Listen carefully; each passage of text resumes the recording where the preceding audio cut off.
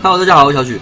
那很多观众希望我做一个关于艾尔莎的妖精队员的介绍，那他们可能不知道妖精队员要放哪一张比较好。那这边这部影片主要是偏重于这个妖精队员的介绍啊。那因为人类的话，其实就绑那几只啊，主要最重要的是杰拉尔嘛，然后皮卡我觉得也是非常重要的。那其实就没什么位置了，那还要再绑一只妖精哈，所以我觉得这只妖精的位置就非常的重要了哈。这个影片主要是偏重在妖精队员的介绍。那大家知道，要艾尔莎就是增强之后多了几个队伍技能嘛？哦，就是生命力提升一点三倍哈，这样子基本上哈带上杰拉尔两万五的生命力至少哈是没问题的。那延长移动符时间两秒，大家不要小看这个两秒哈，这两秒其实是会差很多的哦。在在一些减少转珠的减少你转珠秒数的技能的时候啊，或者是你要解盾的时候，多这两秒是非常好用的。另外间距的部分，我觉得它给的是差不多刚刚好啦。如果给太多的话，可能会会太强。虽然说它可能没有给到非常高，但是它至少有提升了一些稳定度了。不能说非常非常的提升到非常强，但是至少有比较稳定一点哦。不然原本的话，如果说完全没有天降水或光的话，那一回合那张卡可能就没伤害。但是至少至少间距效果的话，会比较稳定一点这样子。哦，那很最重要的是，我觉得他必带的队员就是杰拉尔哦。杰拉尔可以提供他非常高的一个血量哦，让这队的容错率变得更高。然后加上他本身技能又是一个很棒的解板，所以基本上我觉得这一对这个杰拉尔是必带的。好，那再来的话，人类的话，我觉得最好正常就是库拉皮卡哦，这个没有之一。那再来的话，我们讲妖精的部分哈，妖精有一些选择哈。那我觉得，其实我觉得，如果说哦，平常一般关卡没什么太奇怪的东西的话，那我觉得最适合带的就是秀泰。那秀泰的技能是随随机三个角落转，三颗水，三颗光，三颗星，刚好都是这个艾尔莎需要的珠子。而且艾尔莎它是需要减伤的嘛？它减伤大家记得它有一个条件吗？它有一个条件就是消水跟光的时候才会减伤哦。也就是说你没有消到水跟光，或者是天降没给你水跟光，它这回合就没有减伤了。所以当你带上秀泰的时候，它 CD 非常短，它可以提供你就是你需要的水光珠。就是当你这个场上卡住的时候，有时候可以让你不用靠天降。那平常呢也可以补足你的版面上的攻击珠，甚至是新珠。所以我觉得不知道带什么的时候呢，就带这张卡吧。这张我觉得很好用。那再来的话是矢车局，矢车局就是当你需要炸板的时候才用得到。但是因为整队不是妖精哈，只有一只妖精，所以呢，你你你开它的时候，它没有这个连级数目增加八的这个功能哈，就是单纯的炸板这样子。还有这个一点三倍。那再来的话，普普路主要是拿来当就是界王犬啊，有需要界王犬的时候，或者是说人类队员被锁技能的时候，就可以用普普路这张卡去打。然后再来的话，这张卡我也是蛮推荐大家的哈，因为呢五回合内它会转呃光符石转妖，这个不重要哈，重点是它的全队攻击力是二点二五倍的增伤哈。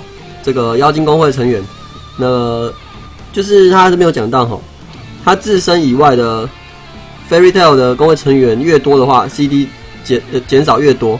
那头尾的艾尔莎基本上就是两个了哈，那个杰拉尔不算，杰拉尔不算是妖精工会成员，所以这样的话就是减四。一只减二嘛，那五个减十，所以两只艾尔莎就是减四，所以它是进场直接变 CD 六就可以开技能这样子，所以这张如果说你不知道带什么的话，也算是一个很很好的增伤队员。不过我个人认为呢，其实放库拉皮卡就是一个很好的增伤，所以我我在妖精这个位置上，我会比较偏向于放一些解板的啊，或者是像秀泰这种可以呃转出攻击珠或者是新珠的角色，会在会对艾尔莎比较好一点啊。那再来的话是。这个尼克斯哈，尼克斯我觉得是也不也不是也是很好用的功能卡，因为它可以转出无鼠盾，可以转出无鼠珠子，这样子的话你解无鼠盾就非常好用。呃，不过呢，其实艾尔萨已经有杰拉尔了，所以我觉得这个尼克斯的出场率也不会太太高了。那再来的话哈，我觉得藏马其实是一个很棒的队员哈，因为它的本身的技能可以转板，转板之后然后变身之后又可以排珠，又可以炸板。所以我觉得它算是一个多功能型的卡片，所以如果你不知道带什么的话，你有藏马的话，其实可以带这张卡片，我觉得非常好哈。那再来的话是黄犬，黄犬主要是特别呃特别的盾的时候才会用到它啦。哦，比如说它的技能是可以挡一回合挡死嘛，像是这次地狱级，这是地狱级的那个中毒那一关嘛，中毒八十趴的那一回合，你可能就需要靠黄犬去挡哦。所以特殊用特殊用关卡才会带到它哦，平常不会带。那再来的话，这张呃木妖也是特殊关卡会用得到，吸血吸血有时候也是会用得到的。然后再来含羞草，很多人都觉得应该要带含羞草什么的，不过我个人就没有很很喜欢带这张卡片啊。比起这张，我会更想要带秀探，因为这个艾尔莎基本上它本身已经有减伤四十趴了哈，所以如果说你在你这个叠减伤，它减伤五十趴不是这样加上去的哈，减加上去就变九十趴，太夸张了。反正它就是叠加上去的，是用乘的啦，所以我觉得含羞草在这对的效益不已经不是很大，因为艾尔莎血量很高，那你再加上它本身的减伤，基本上已经很够了。他会怕的就是无视减伤的，无视减伤的话，其实含羞草也挡不住。那含羞草提供的增伤只有一点五倍，所以也没有很，也没有很高，我觉得也还好吼。那如果说遇到无视减伤的话，你就用黄犬去挡就可以了。那妲己主要是拿来排猪的，然后就是有需要排猪的时候再用它。那当然你也可以用它另外一个形态哦，排猪时间更高，十五十五盾之类的。那再来的话这个这三张也是功能卡哦，像需要破防的时候可以带芊芊去消心符石破防。平常也是不会用不到。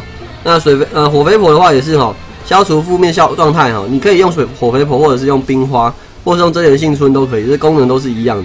但是当你的内成员需要放其他角色的时候，你这个消除负面效果的这张卡呢，你就可以让红心皇后来做哦。然后再来的话是防中毒的卡哦，树叶虫，当然这你也可以用米拉针呐。